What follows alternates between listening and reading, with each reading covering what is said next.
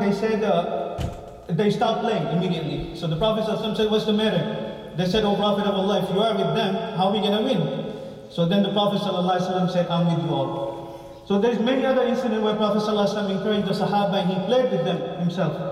And then not only that, not only playing, but he always encouraged and encouraged and advised Sahaba and he was always motivating them to work, to find work. It says a young Sahabi came to Prophet ﷺ and he asked him, for help, the Prophet ﷺ said, La tahillu sadqata li sabi. That uh, the sadaqah charity is not allowed on uh, and then someone who's uh, very good, uh, well nourished and then everything is good with him. and then there's another hadith, and he was very kind in teaching the Sahaba the matters of deen. There's another hadith mentioned uh, uh in the books of hadith that the Sahabi, young Sahabi, when in the beginning of Islam, it was permissible to speak and talk in, while performing salah. So one of the Sahabi came to uh, uh performing salah. While performing salah, somebody sneezed. So he said, Yarhamukallah. So other Sahaba got a little bit upset and they said, you know, Mahma, stop it, what are you doing? So he got even more angry because he didn't know that the, the, this order of Allah came. So uh, he even said, then, you know, what, then why you are looking at me? Why are you staring at me? So Sahaba got even more upset with this, uh, you know, and then they got angry at him. But he said to Sahabi that I restrained myself and I sat down and I didn't speak. And he said after the Salah, uh, uh, the Sahaba told me that the order of Allah came and that we are not allowed to speak anymore in Salah, so you shouldn't have a sneeze.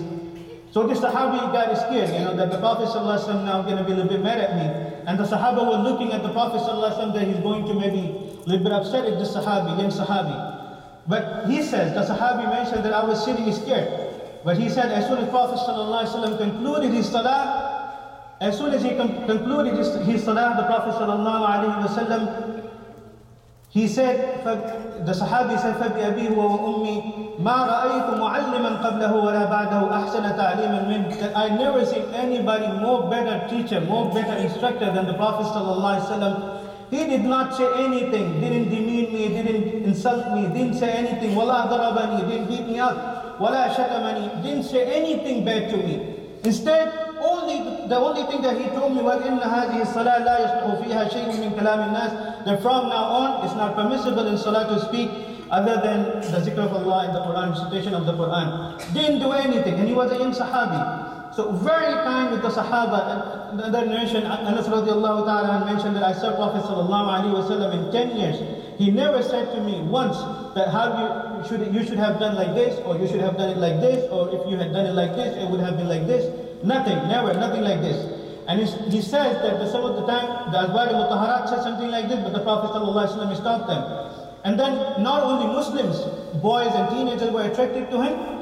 The Jewish boy, there's an incident in Bukhari which I mentioned last time, was uh, used to come to the company of Prophet ﷺ and used to serve him. And then he accepted Islam.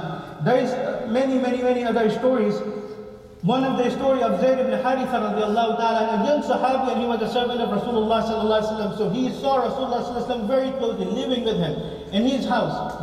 The regular recipient of Rasulullah sallallahu alaihi wasallam kindness and humbleness. So he, it said that when he was young, his father came to emancipate him, to free him. So he came to Rasulullah sallallahu alaihi wasallam and he told him, O Prophet of Allah, I want to free my son and I want to pay for him, you know, and I want to take him back. So Rasulullah said, okay, well, you know, then he said to Zayd bin Haritha radiallahu ta'ala now you choose between, between your father or me. If you want to go, go, inshallah, no problem. And if you want to stay with me, stay with me.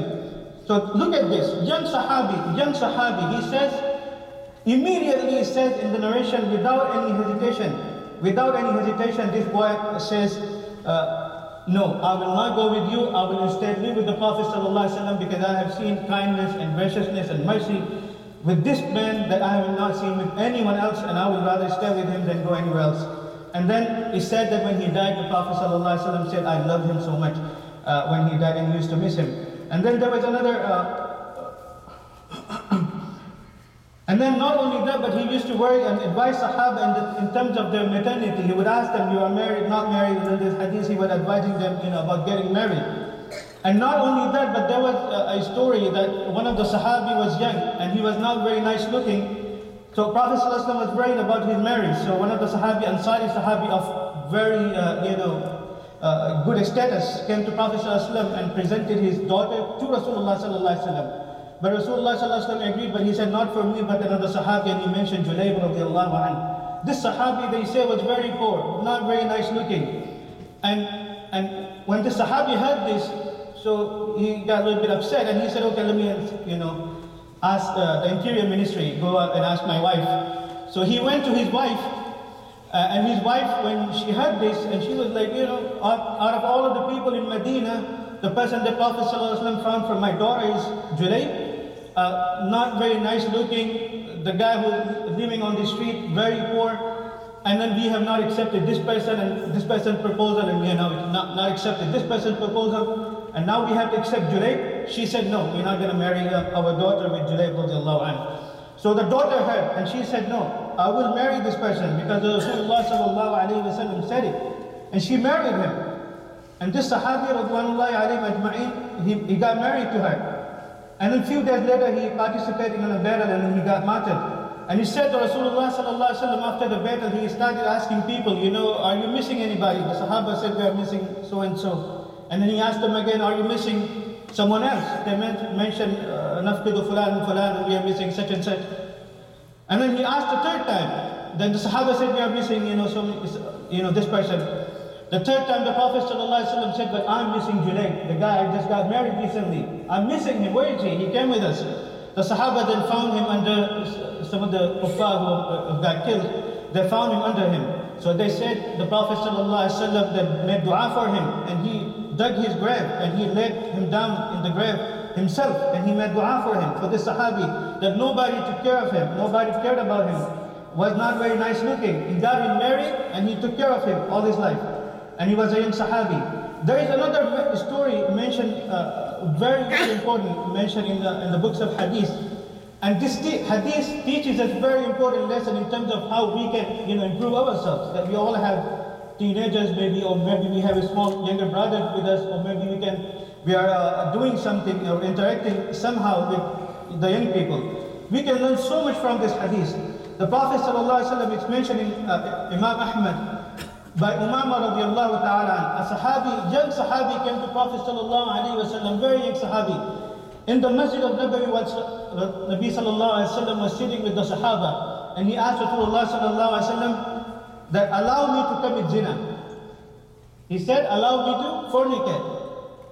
In the majlis, in the Masjid al-Nabawi, where all the Sahaba were sitting, and he's asking the most holiest of all the people, the Prophet sallallahu alayhi wasallam, allow me to commit zina. This, this uh, young man.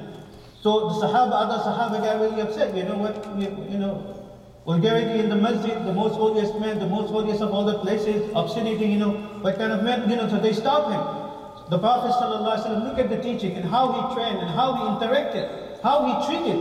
He said, no, leave him, leave him, leave him. He said, come. He told this guy, young man, come close to me. And then فَدَنَا مِنْهُ قَرِيبًا The hadith mentioned this guy got really close to Prophet ﷺ, not to beat him up. And not to tell him, okay, let me call your, brother, your father or somebody else so I can complain about you. No. He got him close to him. And then he, this guy came too close to him. So Prophet ﷺ asked him, this guy, so whatever you're asking me that you want to fornicate, you want to com, uh, commit zina, أَتُحِبُّهُ لِأُمِّكَ would you like somebody commit zina to your mom? This guy said, no, Ya Rasulullah, how can I uh, like it? No, wallahi, la, wallahi ja'ani Allah fidak, I cannot allow this. And then he asked him, Do you would you like if somebody commits zina to your sister? He said, No, obviously not. And he said, Your aunt, your wife, you know, and he gave him examples, and he said, No.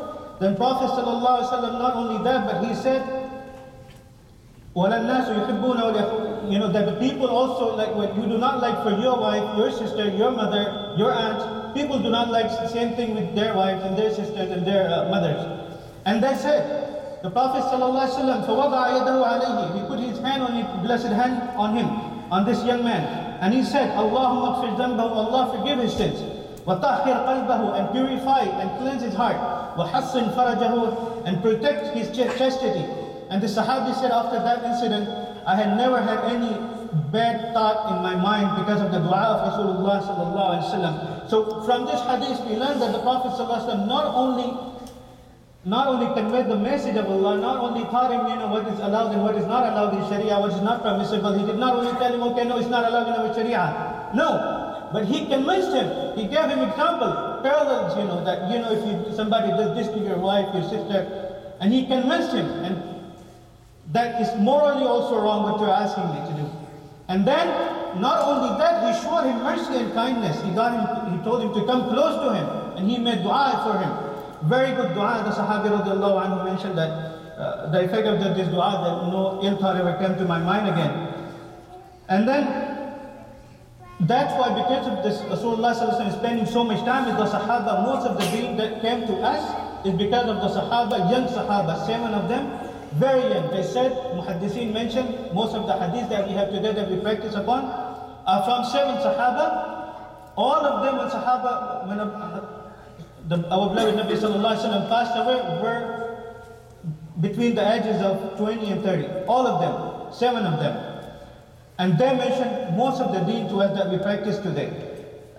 A poet said very beautifully, سبع, سبع من الصحاب فوق ألف قد نقلوا من الحديث عن المختار خير مضر أبو هريرة سعد جابر أنس صديقة ابن عباس كذا ابن عمر seven of the صحابة أبو هريرة سعيد أبو سعيد الخدري جابر بن عبد الله أنس بن مالك عائشة رضي الله عنها عبد الله بن عباس عبد الله بن عمر all of them at the time of the demise of Rasulullah because Rasulullah spent so much time with them they learned so much that all of them mentioned, narrated over a thousand hadiths, Abu Huraira, 5,000 hadiths uh, in the books of hadiths, and we learned those hadiths, we practice from those hadiths, the young Sahaba, Radwanullah alayhi. May Allah subhanahu wa ta'ala grant us tawfiq to learn from the seerah of Rasulullah sallallahu alayhi wa sallam and practice much as possible. هذا وما كان من وما كان فيها من صواب فمن الله وحده وما كان من سهو أو خطا أو نسيان فمني ومن الشيطان والله ورسوله منه براء وأعوذ بالله أن أذكركم به وأنساه وصلى الله وسلم على نبينا محمد وعلى آله وصحبه